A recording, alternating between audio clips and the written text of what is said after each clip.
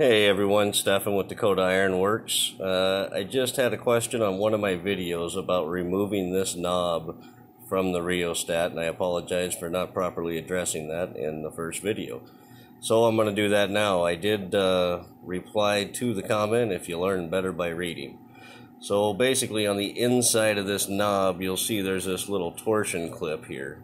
And what that does, it's on just a slight angle, kind of bent up away from the knob so when you slide it onto that half round shaft it keeps pressure on there and then the knob can't slide off.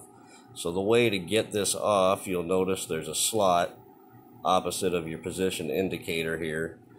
And what I did I just took this little tiny tiny Allen that I never use for anything else and it fits in this slot and you can get in sorry trying to hold and work at the same time here.